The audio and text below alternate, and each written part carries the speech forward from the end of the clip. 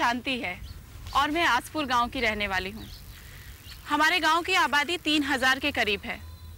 गाँव में ज़्यादातर लोग खेती बाड़ी करके और मजदूरी करके अपनी रोजी रोटी कमाते हैं। इस गाँव में सिर्फ़ एक प्राइमरी स्कूल है और आगे की पढ़ाई के लिए बच्चों को खूब दूर पैदल चलकर दूसरे गाँव जाना पड़ता है। यही कारण है कि इस गाँव में पढ़ाई लिखाई में लोग काफ़ी कमज़ोर हैं। पिछले बरस हमारे गाँव में सरकार की तरफ़ से संपूर्ण साक्षरता अभियान चलाया गया था और तभी से मैं इस कार्यक्रम में एक सुपरवाइजर की हैसियत से काम कर रही हूँ। मेरा काम है अनुदेशकों को ट्रेनिंग देना, उनकी कक्षाओं का सुपरविज़न करना और गाँव वालों से बातचीत करके उनकी मुश्किलों के बारे में जानकारी हासिल करना। अभियान के दौरान इस ज़िले के हर गाँव में साक्षरता केंद्र चलाए गए और औरतों, मर्दों व बच्चों ने खूब चाव से इसमें हिस्सा लिया। यूँ तो इस गाँव में काफ़ी लोग बहुत कुछ सीख गए हैं। लेकिन जब ये पढ़ाई के सेंटर बंद हो जाते हैं तो फिर से ये लोग अपनी रोज़मर्रा की ज़िंदगी में व्यस्त हो जाते हैं और जो कुछ भी पढ़ा होता है उसे भूल जाते हैं। इसी बात को ध्यान में रखते हुए आसपुर में ये पोस्ट लिटरेसी सेंटर शुरू किया गया है।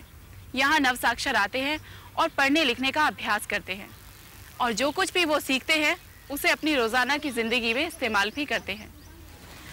ये औरतें यहाँ सिर्फ़ पढ़ने लिखने ही नहीं आती, बल्कि उन्हें आपस में मिलने जुलने, एक दूसरे के सुख दुख बांटने का भी पूरा मौका मिलता है। पढ़ना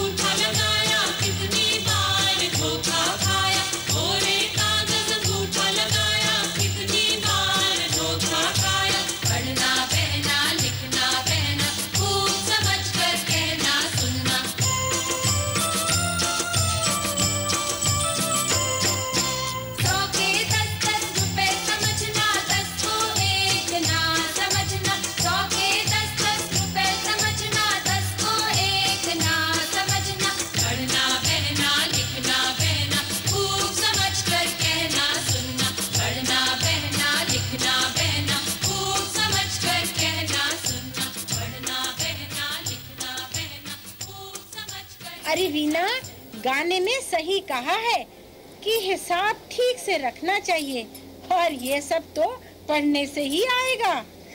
पहले तो संतोताई अक्सर दूध के हिसाब में दस पंद्रह रुपए की गलती कर देती थी। हाँ भाई, पहले तो दूध का हिसाब मैं दीवार पर कोयले से लाइनें खींच कर करती थी। बड़ी गड़बड़ होती थी अगर एक लाइन भी मिट गई तो। लेकिन अब अब तो मैंने एक कॉपी रख ली है। सारा हिसाब उसमें लिखती हूँ और हाँ जोड़ भी लेती हूँ। सलमा भाभी तुम बताओ कि औरतों को पढ़ना क्यों ज़रूरी है? लड़कियों को स्कूल भेजना चाहिए। उससे उन्हें नाम लिखना और गिनती गिनना आ जाता है। अरे यूँ ना हंसो।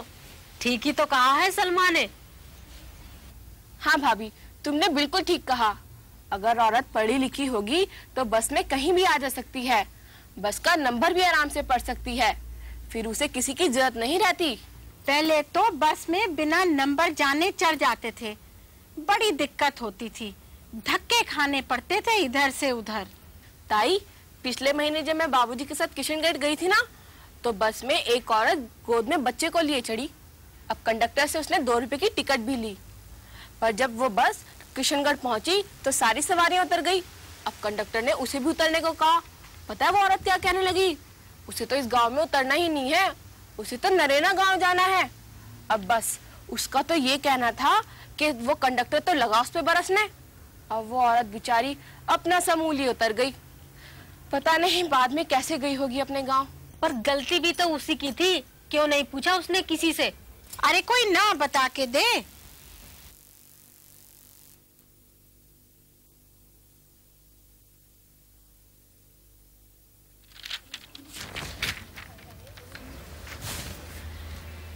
इस पोस्ट लिटरेसी सेंटर में ये लोग सिर्फ़ पढ़ने, लिखने ही नहीं आती, बल्कि आपस में एक दूसरे के सुख दुख की बातें भी करती हैं। अपनी बात कहती हैं और दूसरों की बात सुनती हैं और अपने मन में उठे कई प्रश्नों के हल ढूंढती हैं। जब हम अपनी बात दूसरों से कहते हैं तो हम में एक आत्मविश्वास पैदा होता है और दूसरों की बात सुनने से काफ़ी कुछ सीखने को भी मिलता है। यूँ तो बिना उम्र में छोटी है, पर जब वो बात करती है तो सब औरतें उसकी बात ध्यान से सुनती हैं। वीना कोशिश करती है कि ये सभी लोग बातचीत में बराबर का हिस्सा लें। जब बातचीत शुरू हुई थी तो दो तीन औरतें जो ज़्यादा बोलती हैं, वही बोल रही थीं। और सलमा भाभी, जो कम बोलती हैं, शर्म के मारे चुप बैठी हैं। पीछे बैठी लड़कियाँ आपस में खुसर पुसर कर रही हैं और मुँह छिपाकर हंसती हैं। वीना काफ़ी कोशिश करती है कि ये सभी लोग चर्चा में शामिल हों। मगर फिर भी काफ़ी कमियाँ हैं इस चर्चा में। वीना सबकी तरफ़ ध्यान नहीं दे पाती क्योंकि इन सबका बैठने का तरीका ठीक नहीं है। वीना को चाहिए कि वो सबको ढंग से बैठने को कहे जिससे कि ये सब एक दूसरे को देख सकें। सुधा तू और केसर मेरे पास आके बैठो। और ताई तुम थोड़ा पीछे हो जाओ। और भाभी जी तुम भी थोड़ा पीछे हो जाओ।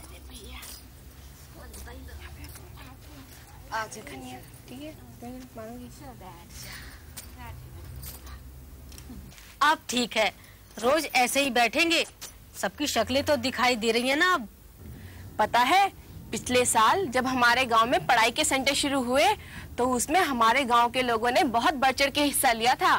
खासकर औरतों की भागीदारी बहुत ज़्यादा थी। सभी पढ़ना चाहती थी। अगर औरत अनपढ़ होगी तो उसे हर काम के लिए अपने मर्द और बच्चों की मदद लेनी पड़ेगी। मैंने तो अपनी मुनिया को अभी से स्कूल में भर्ती करा दिया है। अरे काम का क्या है? किसी ना किसी तरह तो निपट ही जाता है। ताई हमें तो किसी ने जाने ही न दिया।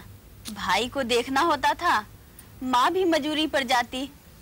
और बीना जब बस्ता लेकर स्कूल जाती तो बड़ा बुरा लगता। अगर तू स्कूल गई होती ना तो बीना की जगह आज तू हमारी मास्टर नहीं होती।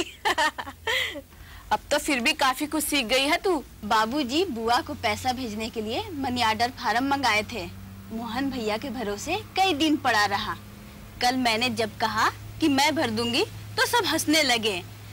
और जब मैंने कल भर दिया तो बाबूजी कहे हमारी बिटिया बड़ी सियानी हो गई है। भाई मैं जब सौदा लेने जाती हूँ तो पूरे पैसे का हिसाब करती हूँ। पाँच पैसे भी कम नहीं लेती। अब हमें कोई बुद्धू नहीं बना सकता। मैं अपना नाम लिखती हूँ। ताई जब तुम सब इस तरह की बातें करते हो ना तो मुझे बहुत अच्छा लगता है। अरे हम यहाँ पे एक दूसरे से कुछ ना कुछ सीख ही रहे हैं। हरी बीना बिटिया हम क्या सिखाएँगे तुझे? तू तो खुद ही बड़ी सियानी है। तभी तो इतनी छोटी सी उम्र में हम सबकी मास्टरानी बन बैठी है। लिखने पढ़ने से बहुत सी नई बातों का पता चलता है। अरे बाहर वालों से बात करने की झिझक भी खत्म होती है। अपनी सलमा भाभी को ही देखो। पहले तो किसी से नहीं बोलती थी। अब चार लोगों के बीच में बैठती हैं और उनसे बातें भी करती हैं। पहले मुझे बड़ा ही डर लगता था। सोचती थी कहीं जाने अनजाने में गलत बात ना निकल जाए मुँह से। हाँ चार लोग के बीच बैठने का सलीका आ गया हमें। बिल्कुल ठीक। बराबर यहाँ आया करो और ध्यान से सुना करो। एक दूसरे से ही बहुत कुछ सीख सकते हैं हम लोग। अब तो चर्चा खूब जोरों से हो रही है। वीना ने बड़े अच्छे ढंग से औरतों की पढ़ाई के बाद गाने के एकदम बात शुरू की। शुरू में तो सब औरतें बात में ध्यान ही नहीं दे रही थी। पीछे बैठी लड़कियाँ आपस में बातचीत कर रही थी और ज़्यादा बोलने वाली औरतें बहुत बात कर रही थी। किसी के इधर उधर जाने से कुछ लोगों का ध्यान बढ़ जाता था। वीना ने बातचीत के दौरान इन सब बातों पर गौर किया और सबके बैठने की व्यवस्था में बदलाव किया। सब लोगों को एक गोल घेरे में बिठाया। वीना ने सबसे प्रश्न किए और उन प्रश्नों को चर्चा में शामिल किया। यूँ तो वीना उम्र में सबसे छोटी है, पर वह बड़े आराम से सबकी बात ध्यान लगाकर सुनती है और चर्चा का रुख इधर से उधर नहीं होने देती। वो जानती है कि उसे कब बोलना है और कितना बोलना है। वीना इस चर्चा के विषय के बारे में काफ़ी कुछ जानती है, तभी तो सबके सवालों का जवाब बड़ी आसानी से देती है। वो सबसे ऐसे बात करती है कि किसी को महसूस ही ना हो कि वो अपनी बात उन पर थोपना चाहती है। अरे चलो भाई यहीं रहना है। अरे ताई को तो घर जाने की हमेशा जल्दी ही रहती है। और क्या?